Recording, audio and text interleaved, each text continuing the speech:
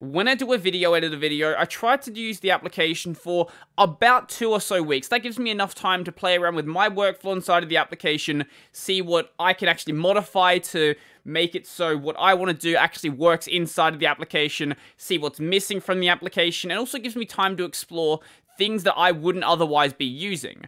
Now, today we're looking at OpenShot. So, normally I would have edited about 14, at least 14 videos. Maybe I'll do the podcast in the editor, which would take me up to about 17 or 20 videos.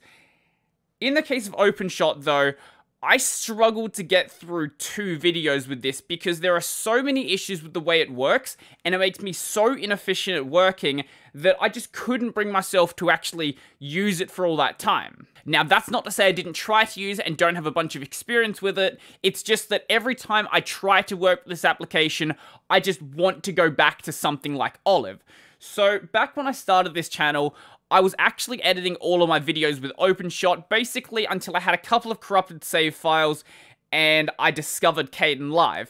So from then to now, it doesn't really seem like much has actually changed with the application, but I didn't realize how many problems there actually were with this. That's not to say that there's nothing good about OpenShot, it definitely has its selling points. Now the first thing that'll stand out is the interface, which is really bubbly and reminds me of something like Windows Movie Maker, which I don't necessarily think is a bad thing. Some people absolutely hate it, some people love it. For me, as long as the buttons are in a place that just makes sense and the application is just designed in a relatively decent way, I don't really care if they decide to use bubbly icons because most of the time I'm just going to be using hotkeys anyway. Now, comparing this to Windows Movie Maker isn't intended to be an insult because it shares like a similar sort of position, which is it's a very simple video editor used by people who just want some sort of video editor. They don't really care about having all of these crazy features like you'd see in something like Kdenlive, DaVinci, or anything like that. The biggest selling point this has is with app integrations. Let's say we want to go and add a new title. So let's go and click the title button up here and click title. Now, there's a couple of pre-made ones in here, but let's say I like the clouds right here. So let's go and call this, I don't know, new title. And we'll leave the text as it is by default. So from here, most video editors would have some sort of built-in way to modify the way the title looks. In this case though, if we go and click on the Use Advanced Editor, it's actually going to go and open up this file inside of Inkscape. So I can go and modify this, you know, the same way you do anything inside of Inkscape. There's nothing special going on here. Let's make that one there. We'll make another copy of that one, and let's just move this over here or something, put the text back inside. And then if I save it and then quit out of this, as you're going to notice, it actually modifies it over an OpenShot, and we can actually go and add this title into our timeline now. So rather than having to go and make something from scratch themselves, they're relying on an existing application that does everything they need. While I do prefer a good built-in solution, this is much better than having something that barely works. Now, when it comes to doing animated titles, it does integrate with Blender, but sadly it's not as good of an integration as what we see with Inkscape. So if we go and select something in here, like let's say the lens flare, we can't actually go and open this up inside of the advanced editor. That would be a really, really cool thing to see. It does give you control over a lot of properties though, however, I would like to have absolute control over this title. Now, all of the effects and transitions are listed in these two tabs right here. If your instance of OpenShot doesn't actually look like mine, it's because I'm actually running it with the advanced view. So if we go to the simple view, basically the only difference is those tabs are now integrated into this section right here. I don't really like this. I like to have them as like two separate windows and also it doesn't show the properties on the left hand side all of the time. So I'd recommend just going and enabling the advanced view because it actually properly makes use of your screen space. The interface can be modified though, so if you go and click on the little square icon in here on the left hand side, you can actually move a window around and then you can like put it as its own separate window or you could say merge it together with a different window. Basic sort of window movement stuff, nothing really too crazy here, but I do like the default look of the advanced view. The effects here are very simple, but they very much do the job. So let's say I want to go and add a blur effect to this video track right here. So basically all I do is grab the blur and then drop it on the video track. And then if I want to go and modify the blur properties, if I have the video track selected, if we go and click on the drop down on the left hand side here, we'll see the blur right here. Sometimes it won't actually load, and in that case you have to go and click off of the track and re-click on the track, but the other way you can do it that seems a bit more consistent is just clicking on the little blur icon on the video track itself. So let's go back over to the main properties, click that icon, and now we're actually on those properties. So there's not a ton you can modify here, but it is just a blur. So let's say I modify the horizontal radius, and everything in here is in alphabetical order rather than being in an order that just makes sense. So horizontal radius and vertical radius are on complete opposite ends of the list. Now, sadly, keyframes really shouldn't be in this application in the state they're in. So if we want to go and add a keyframe, let's say I want to go and add one right here. All we need to do is go and right click on the value itself, click insert keyframe, and you'll notice this tiny, tiny green line on the track itself. So let's go to a further point in the video and add a, another keyframe here. Let's add one right there and go and modify the value. So let's just turn that up like really high. And now going between these two points, it will go and uh, modify the blur. I'll just mute that. As it goes through that point, it will make the blur more and more and more, basically doing what a keyframed animation is supposed to do.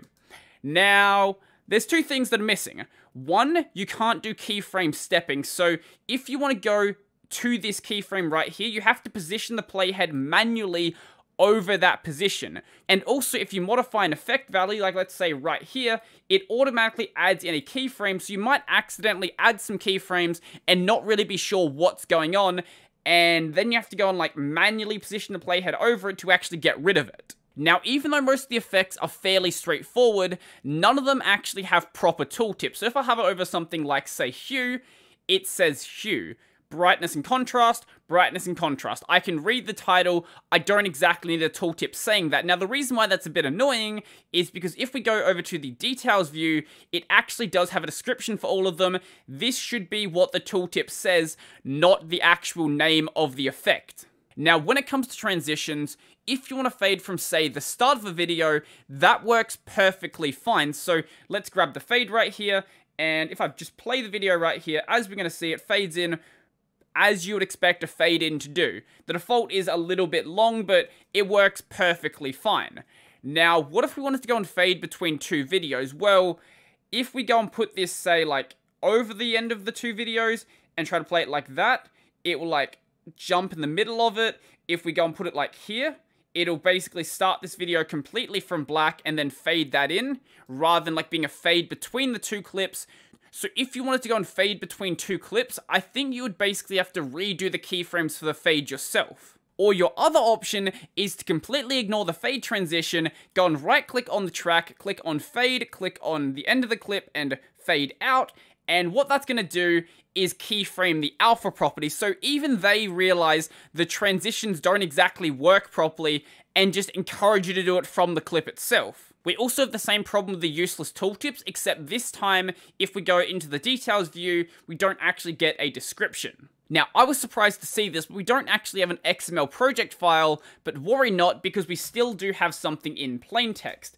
So if we go down to, I think it was called Untitled or something, uh, this one right here.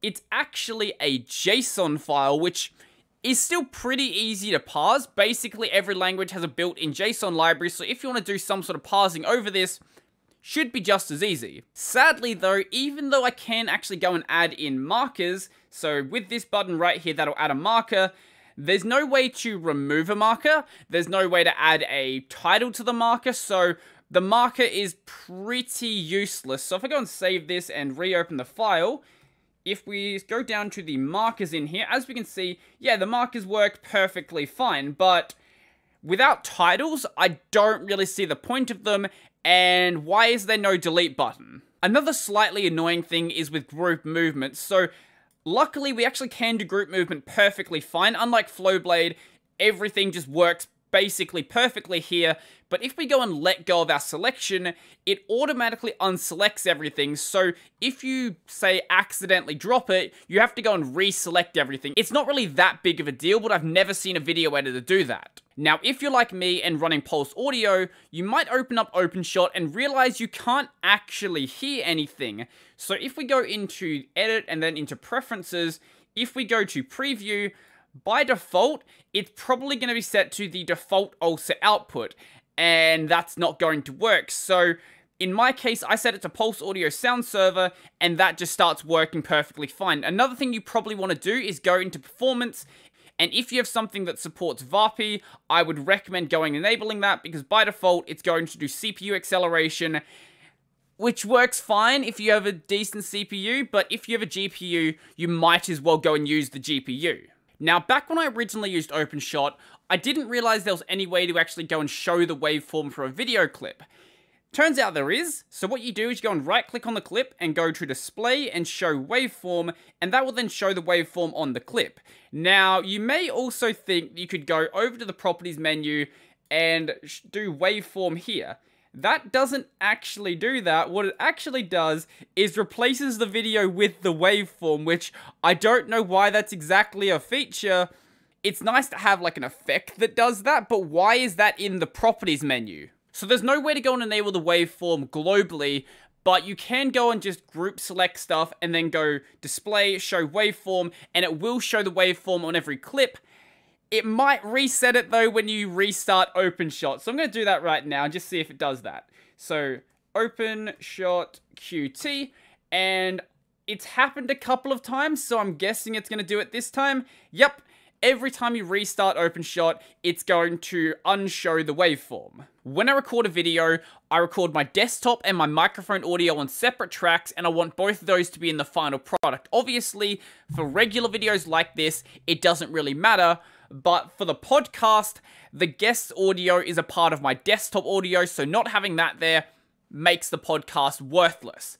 OpenShot doesn't let me import both of the tracks. When I import a video, it only imports the first track and there's no way to change anything about that. Obviously, I could go and manually import the audio tracks, but I'd much rather just use an editor that just lets me import it correctly. Now, I thought there might have been a solution. So if I right click on this and then go to the separate audio, there's the single clip all channels and multi clips each channel. I thought maybe this would show me the other tracks. It doesn't actually do that. It just shows the audio track on a separate track. But don't actually separate your audio out like this because if you do, OpenShot is probably just gonna crash. That's happened, I think, about 10 times in the last, like, 5 minutes. I've been trying to re-record this clip, seeing if it just doesn't crash. Nope, every single time it will crash. Now, as long as you don't do that, the timeline isn't unusable. It does tend to slow down occasionally, but it's not a major deal, and if you have a decent system, you can work around it. One thing I can't work around though is that OpenShot straight up breaks MKV clips. So I'm going to play a video for you, this one right here. So if we go right to the end of this, I'm supposed to finish my sentence as I'm talking, but just listen. Is a fully graphical web browser rendered inside of your terminal. Every single MKV clip is like that, but it doesn't do it to MP4.